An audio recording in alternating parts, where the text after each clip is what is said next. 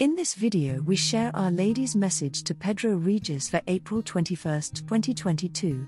Dear children, I am your sorrowful mother.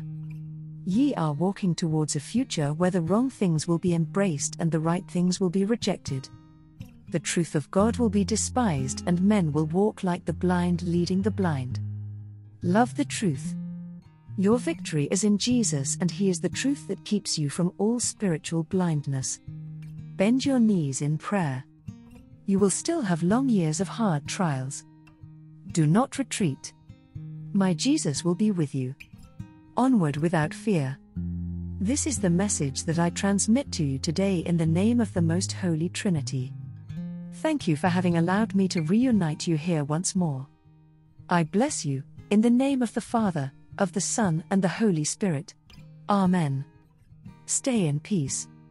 With over 5,000 messages allegedly received by Pedro Regis since 1987, the body of material associated with the purported apparitions of Our Lady of Anguera in Brazil is extremely substantial.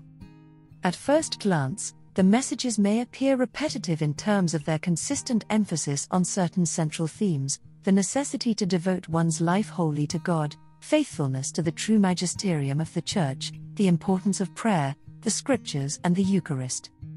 The Anguera messages touch on a wide variety of subjects containing nothing incompatible with Church teachings or approved private revelations the position of the Church towards the Anguera apparitions is understandably one of caution. A commission has been established for the purposes of evaluation. It should be said that the current Archbishop of Feira de Santana is broadly supportive. Thank you for supporting my channel. May God bless you and keep you. Our Lady, Queen of Peace, pray for us.